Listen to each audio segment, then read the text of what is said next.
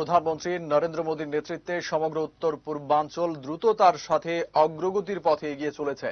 রাজ্যে এসে এই দাবি করলেন কেন্দ্রীয় জাহাজ মন্ত্রী সর্বানন্দ সোনোয়াল। মঙ্গলবার বিজেপি রাজ্য সদর কার্যালয়ে সাংবাদিক সম্মেলন থেকে দাবি করেন তিনি। পাশাপাশি তিনি অভিযোগ করেন, কেন্দ্রে কংগ্রেসের জামানায় উত্তর পূর্বাঞ্চলকে অবহেলা করা হতো।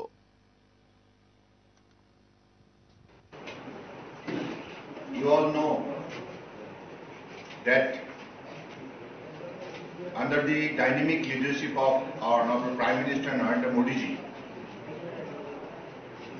the entire Northeast is growing fast in all the sectors. Before his coming, the entire Northeast was totally neglected by Congress regime.